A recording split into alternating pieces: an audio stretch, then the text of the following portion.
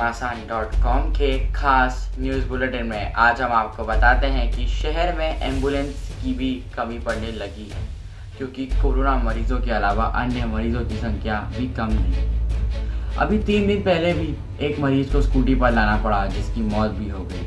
लिहाजा कलेक्टर के निर्देश पे आज से 50 ओला टैक्सियों को एंबुलेंस के रूप में चलाया जाएगा।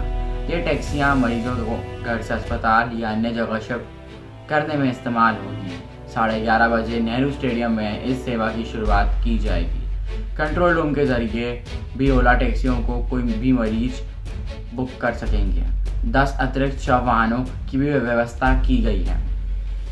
एक तरफ़ इंदौर में तेज़ी से कोरोना पॉजिटिव और संक्रमित मरीजों की संख्या बढ़ रही है, वहीं अन्य बीमारियों से पीड़ित मरीजों के भी फजीते कम नहीं हैं। जिन लोगों के पास चार पहिया वाहन हैं वह तो अपने मरीज़ को अस्पताल ले जाते हैं। लेकिन दुबैया या अन्य वे लोग परेशान हो रहे हैं। अभी तीन दिन पहले ही इंदौर में स्कूटी पर एक व्यक्ति को परिजन भर्ती कराने के लिए परेशान होते रहे और आखिरकार उस व्यक्ति ने दम भी तोड़ दिया।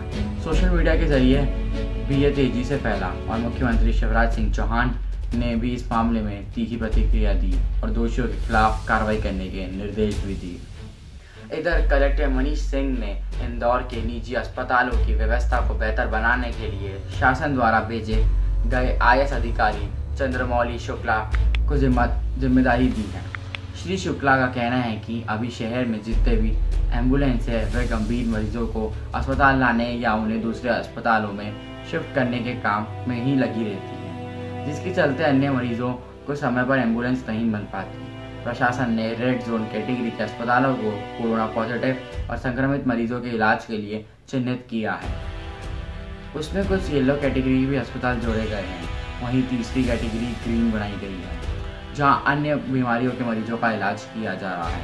अभी परेशानी ये होती है कि किसी मरीज़ को ग्रीन हॉस्पिटल में लाएँ और उससे येलो या रेड जोन हॉस्पिटल में शिफ्ट करना पड़ता है तो एंबुलेंस की कमी होने लगती है।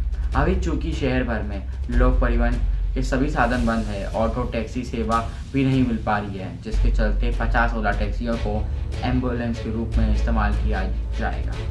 सेडान कैटेगरी की इन टैक्सियों की बुकिंग प्रशासन द्वारा स्थापित कंट्रोल रूम के ज़रिए भी की जा सकेगी। जिस तरह से एयरपोर्ट पर टैक्सी की बुकिंग होती है, उसी तरह से कंट्रोल रूम के माध्यम से कोई भी व्यक्ति अपने घर से अस्पताल तक आने जाने के लिए इन टैक्सियों को बुक कर सकेगा कलेक्टर मनीष सिंह ने बताया है कि नेहरू स्टेडियम में दोपहर साढ़े ग्यारह बजे इन टैक्सियों को एंबुलेंस के रूप में परिवर्तित कर चलाना शुरू कर दिया जाएगा।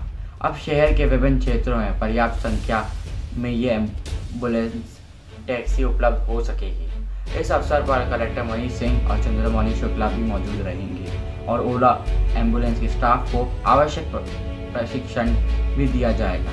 इसके अलावा 10 शव वाहनों की संख्या भी बढ़ाई जा रही है, जो कि प्रमुख रेड जोन अस्पतालों के अलावा अन्य जगह उपलब्ध रहेंगे।